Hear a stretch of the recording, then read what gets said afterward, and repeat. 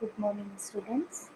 In our previous lectures, we have seen about the convolution coding.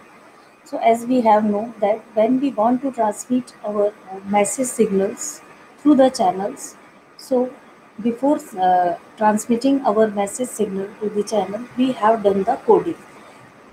The basic purpose of our coding is we have to optimize our message signals. We want to reduce the number of bits in our message signals so that we can transmit our signals with fast transmission rate and the bandwidth of our channel will be also reduced by using the encoder techniques.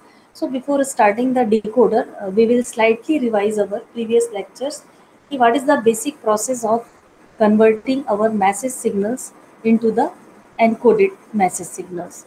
So first of all, if we are talking about the convolution encoder, so here there is a memory encoder. So in this type of encoder, we have used the shift registers and uh, here we have also the output bits.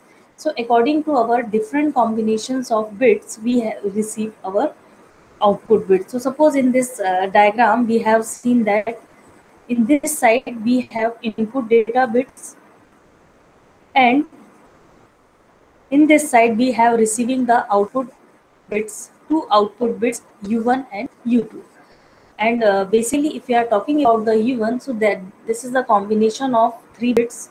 And if you are talking about the U2, this is the addition of first and last bit.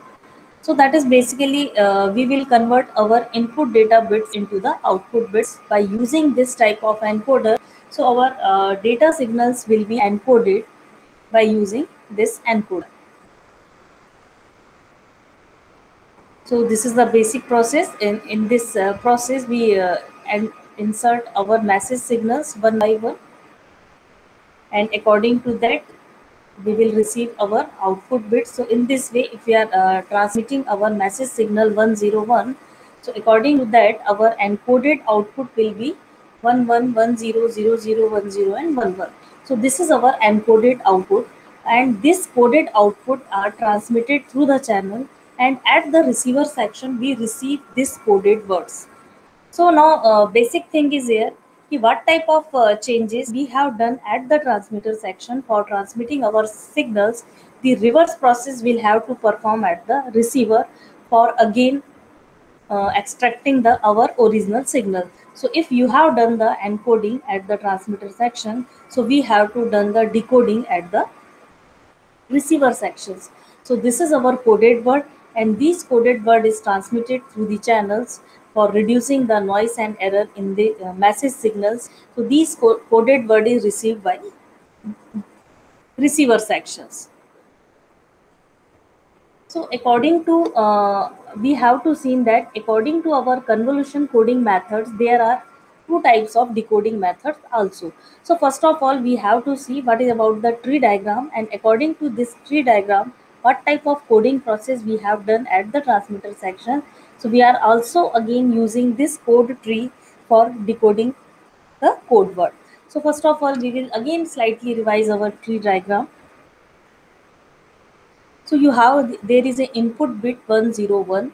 So uh, if we are talking about the tree diagram, so there are two options. Either you can move to the upward or you can move to the downward. So since your first bit will 1, so we will move to the downward, downward and our output bit, bit is 111. So here what is the changes in uh, initial? There is a three output bits and it is depend on the encoder what type of encoder you have to design yeah, what type of code rate you have to design for your encoder so here we can uh, obtain the 3 bit output data so this is here uh, so you will see that this is the output bits. Again you have uh, when second bit enters. Again you have two options 0 and 1 so since second bit is 0 so you will move to the upward and you will again by using this encoder technique you will again receive the second output bits. After then third bit will enter and you will again receive the output bits 100 so this is the basic process in which our tree diagram will work out. So we will again uh, in further slides we will use this method for decoding purpose. Now there is again uh, another method of our code word. uh, there is a trellis diagram and we will also use this trellis diagram for our decoding purpose. So first of all, we will see here what is the basic purpose. So uh, if we are talking about the state transition, so uh, there are four uh, states. So what about these states? These states are A, B, C and D. So according to our combination 0, 0 that is the A state, 0, 1 is the B state, 1, 0 is the C state and 1, 1 is the D state so these uh, so uh, basically these there are four states and according to these states we have designed our trellis diagram so this is a basic method of our coding method of our trellis diagram and by using this uh, diagram we can encode our message signals so first of all uh, we can see that here is again we are working on the 3 bit outputs uh, encoder so there is also a output code word is 3 bit so uh, a a0, A1, A2, A3 and A4. So there are again uh, four states. We are again using this diagram for decoding purpose. So we have little bit revised uh, this diagram here.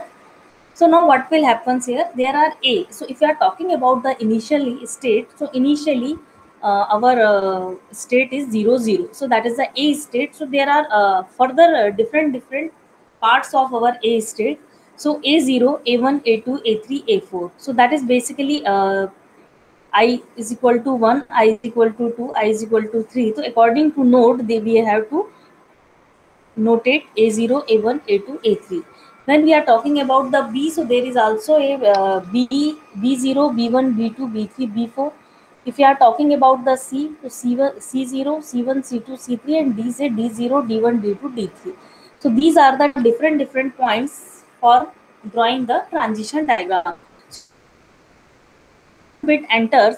So what will your output? So we can see that when one bit enter our output bit are 111 and what should be the next state? So after shifting the bit we can decide what is the state as we have to see in our previous slides also so suppose this state is c state means uh, you have received the 1 0 so according to that your a state a from you have to move from state a to state c so you have to move right side further. So you will move to the C1.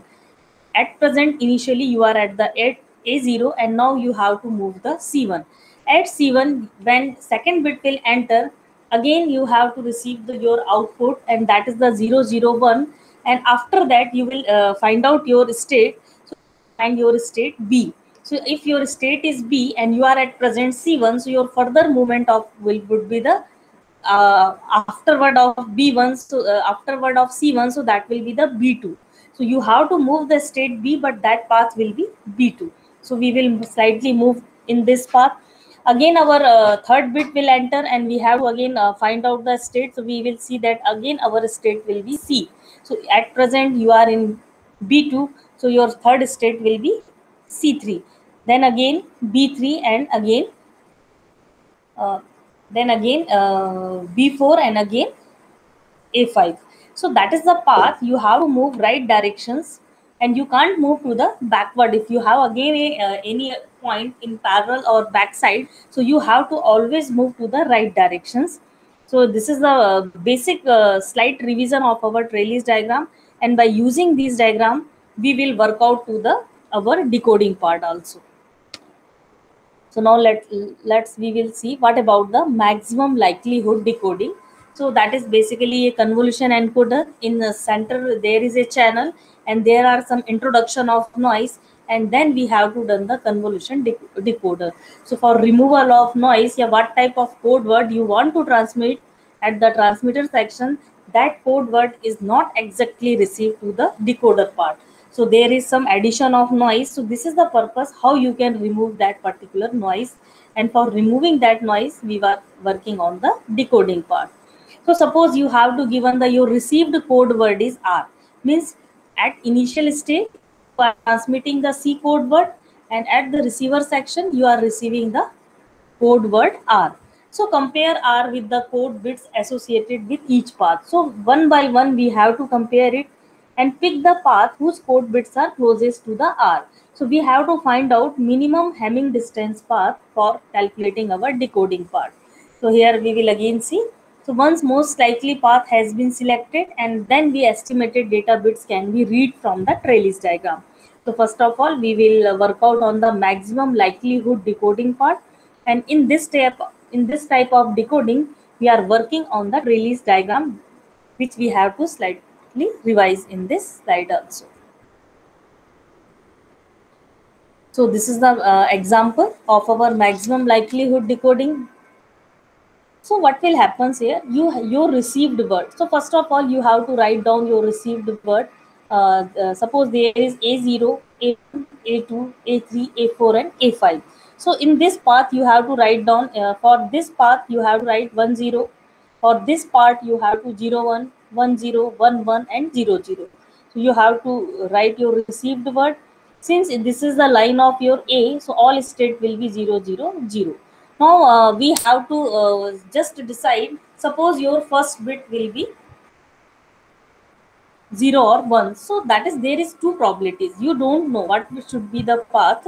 So first of all your your first bit will be either 0 or 1 so if your bit will be 0 so your output will be 0 0 and if your bit will be 1 so your output will be 1 1 so you have to just find out 1 0 and 0 1 so what will uh, 0 to 0 it is a matching and there is one change of bit so there there is a minimum Hamming distance that is the 1 in this path that is the 1 and if you want to calculate it here is also 1 so there both are equal. So you can uh, choose either path. But we will move slightly forward. And again in second part we will see there is again two options either your uh, first bit will be 0 so what about your second bit? So your second bit will be either 1 or 0 so according to that you have to again select 0 1 so there is again change in 1 and 1 1 so there is again uh, change in bit that is a 1 so minimum distance is 1 and 1 so at present uh, we, we can write down the uh, path of that particular what is the minimum distance and now uh, when first bit is 1 so there is again two options. Your second bit will be either 0 or 1 so again if you are working on this way so you can see that uh, if your bit is 0 so 1 0 you can move this way. And if your bit is 1 so that is the output is 0 1 and you can move this one. So by taking the two options you have to move at least 3 to 4 bits and then what you have to calculate you have to calculate the minimum distance. So uh, which path will show the minimum distance? If you are talking about the minimum distance so that is a path with minimum Hamming distance of 2 so what about the one one one? So if you you have to prefer so we have to take the so many options. As in this table you can see your path will be this one so you have to according to that you have to calculate these path will be accurate and these path will you have to compare it with the received sequence and then you have to calculate the Hamming distance. And uh, you have to choose the minimum distance path which is which is suitable for that and that will be a desired decoding path. And by using these decoding path what you will done? You will select the desired bit. Suppose that is the 0 0 1 1 1 0 1 1 and 0 0 so now you have to decode that particular first bit is 0 second will be 1 0 0 0 so that is the your path code word 0 1 0 0 0 means what you have to done from starting bit you have to uh, receive uh, receive the word 1 0 now uh, what is the basic process? You have to uh, calculate the minimum distance path. So there are so many paths in this diagram so which path will be the minimum Hamming distance and that path will be the correct path of that particular code word? Because uh, we have to calculate the basically how many number of bits will be changed due to the uh, addition of noise. So that is a basically from a starting point there is two options. Either first bit will be 0 or 1 you have to move go ahead. After then there will be again decision first bit will be 0 so there is again two options. Second bit will be either 0 or 1 and you have to again move forward as per the state conditions as we have to uh, slightly revise in our uh, uh previous slide. If first bit will 1, so there is again two options. Your second will be either 0 or 1. So you can again move the two step further. Now again further you have again uh, two two options here. If first bit is 0, second bit will be either 0 or 1 so there is again options. If second bit is 0 so third bit will be again 0 or 1 or your third bit will be if second bit will be 1 your third bit will be either 0 or 1 so there are multiple options and these are the code sequences which we will follow by using these options what i have to told you. So by using these options we have to calculate the minimum Hamming distance and which path is source to you minimum Hamming distance that path will be our the preferred path. So that path we will preferred and uh, what type of uh, bits we have to required input bits required for that path that particular group of bits will be the correct code word of that particular decoding part.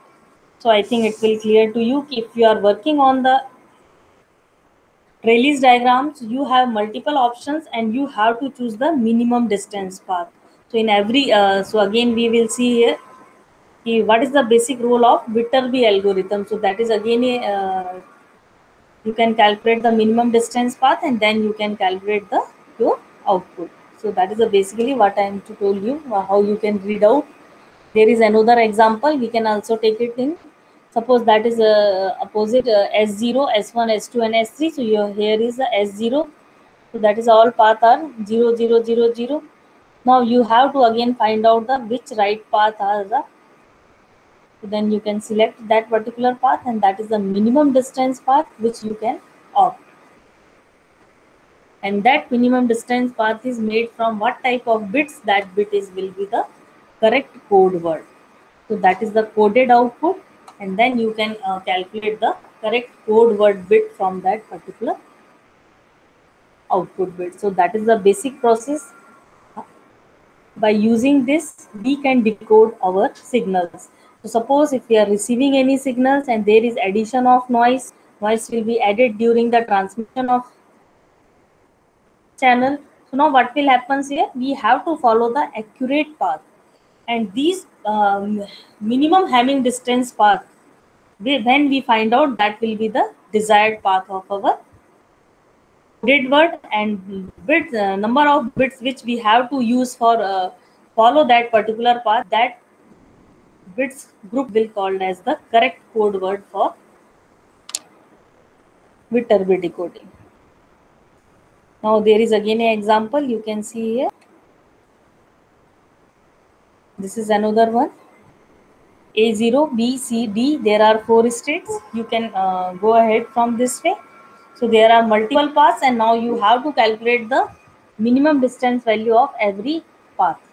By uh, comparing these all paths, we can find out the accurate optimized path for our coding. And if we have, we have uh, find out the accurate path the bits which we which we have used for designing that part that bit will be the correct code word.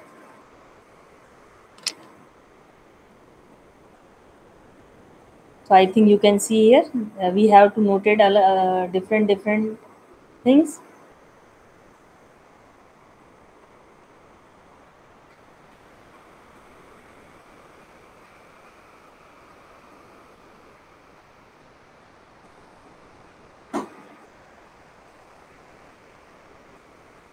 now uh, I think it will be clear to you. Now we will little bit move to the code tree.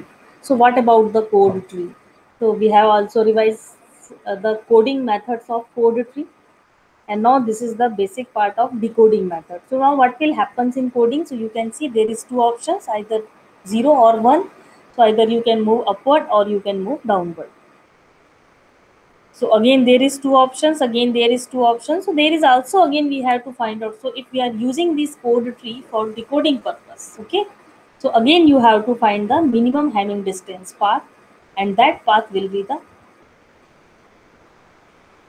desired path of our decoding techniques. And uh, these paths are made from group of number of bits, so that uh, bits will called as a correct code word of that particular received message. So that is a general uh, code tree. You can also see here different combinations of our code tree.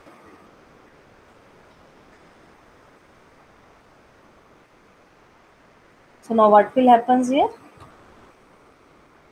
you have to find out the suppose uh, i will just take here suppose you have to given the correct received word. So first of all you have to write that correct received word and now you have to pick two bit first word. So a group of two bits and then you can choose either first bit will be 0 or first first bit will be 1 so according to these two method so what will happen? Which path will be the desired path? So in first uh, bit we cannot decided the accurate path. So now we will again take the decision if first bit will be 0 so what about the second bit? So there is again two options 0 0 and 1 if first bit will be 1 so there is again two options 0 and 1 so according to that we will move to the forward. There are two options 0 and 1 0 and 1 0 and 1 and in this way we can design this code word. I think it will uh, clear. So now what you have to which path you have to follow. So there is again option. What about the suppose there is 0 0 and there is 1 1 so this in this two way you have to find out the minimum Hamming distance. Again for second uh, group bit you again decide which one is very nearby matching with the second options.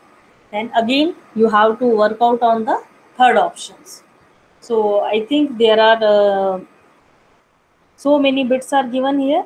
And according to matching of that we can find the particular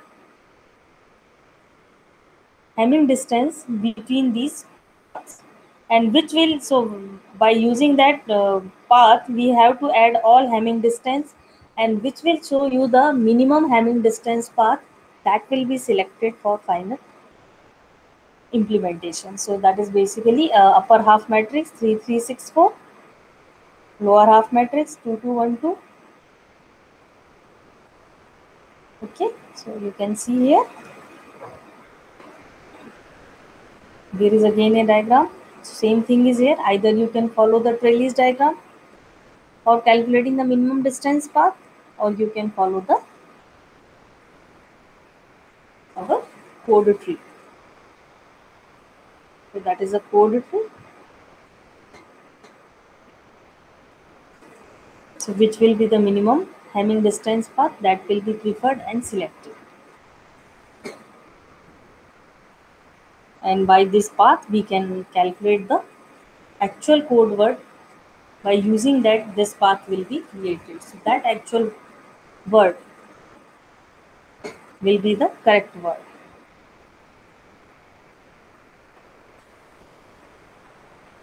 So I think uh, these uh, two types of decoding is clear. So we again uh, slightly revise in our convolution decoder part. What type of encoding process you have to perform? There will be the reverse operations. If you are uh, working on the uh, code tree encoders, so in receiver part we will also use the decoder of which is made with help of code tree and by using that there is also so many options and we are working on this method. If you are talking about the trellis diagram so there is again a diagram. By using this trellis diagram if you are converted your basic message signal into the code word. So now what will happens here? Uh, same method will be used for decoding purpose. So that is the sequential decoding and by using that sequential decoding there is certain a b c d certain rules regulations in particular filling that particular data. So i think it will also more useful to you.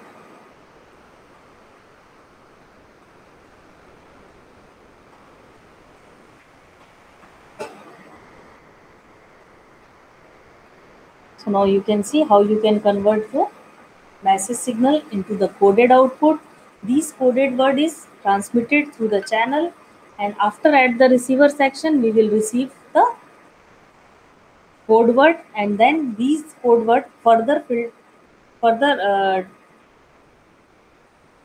decode decoding is done and by using the decoding so what about the decoding? We will again extract our code word. So what about the nearby code word of that particular code word we have to find out by using the two different types of decoding maximum likelihood decoding and Viterbi decoding so Viterbi decoding is based on the code tree convolution coder and uh, Viterbi uh, maximum likelihood decoding processes depend on the trellis diagram So this is our description. Now we will little bit move to the decoding part. So this is again we will move to the very perfect matching path.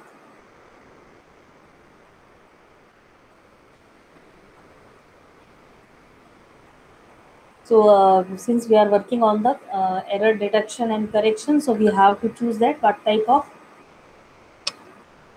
error detection and correction techniques is using in our convolution coding. Which uh, decoding method involves the evaluation by means of Fano algorithm. So in which we are working on the Fano algorithm and which type of decoding is used this type of algorithm. Uh, if you are talking about the Viterbi algorithm, so what about the selected path?